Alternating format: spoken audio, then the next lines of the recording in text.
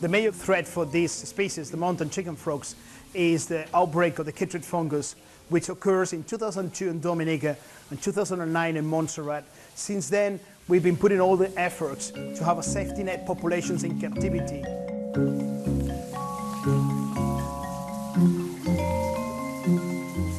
Got to the critical situation today. We have only 10 pairs of breeders. We needed to start breeding these animals. Without that, we're absolutely losing our chances.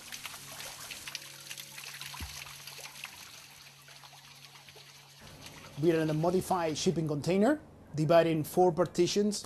Each of them is holding a pair of individuals that has been genetically identified for the next breeding program.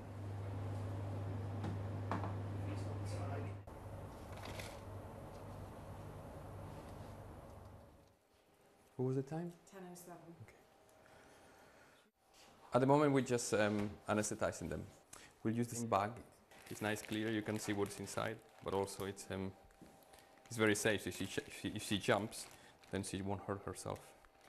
I think she's probably got colitis, so we, we want to take some fecal samples, take some bacteriology, see what's in there, and then take it from there. Do it again, just one sec. What we're doing is trying to put it our very best here, the best conditions for breeding, and hopefully rear them, get them ready, and ship them back home.